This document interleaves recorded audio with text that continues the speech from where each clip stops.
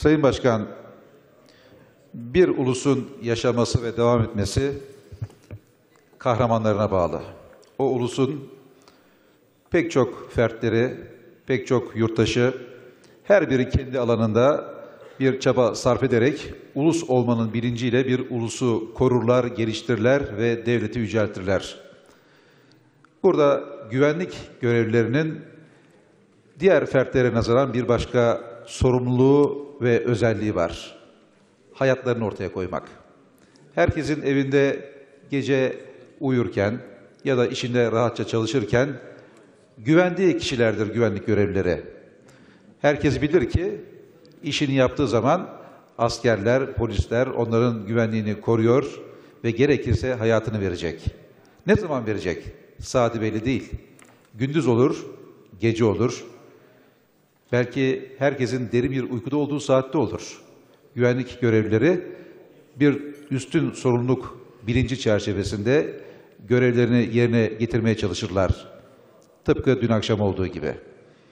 Bundan birkaç gün önce televizyonlarda izlerken iyi ki Aydoğan Paşa'mız var dedik ya da onun gibileri var dedik. Çünkü Türkiye'nin en zor coğrafi bölgelerinin birinde Kato Dağı'nda bu paşa askerlerinin başında bir yurdun muhafazası ve savunması açısından en tepede, en üst yerde görev yapıyordu ve bilgi veriyordu. Ve huzur içerisinde o akşam uyuduk. Aydoğan Paşa ve askerleri orada olduğu için.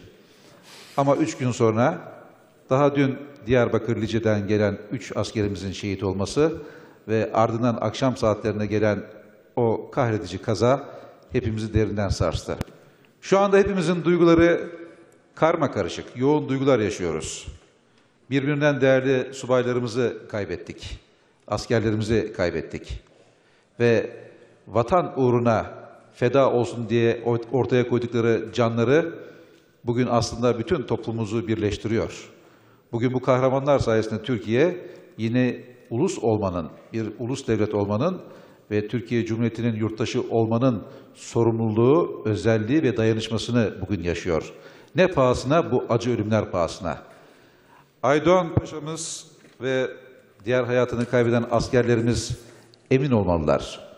Onlar Türkiye'yi bir kez daha birleştirdiler bugün. Bugün Türkiye tüm sorunlarını ikinci plana iterek askerlerimizin hayatlarını kaybettiği bu atmosferde onların yasını tutuyor.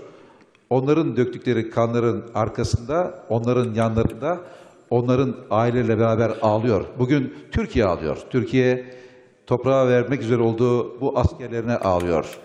İşte böyle bir duygu ve yoğunluk içerisinde Lice'de hayatını kaybeden üç askerimize ve bir kazada kaybettiğimiz başta tüm General Aydoğan Aydın olmak üzere diğer askerlerimize Allah'tan rahmet, ulusumuza başsağlığı diliyoruz.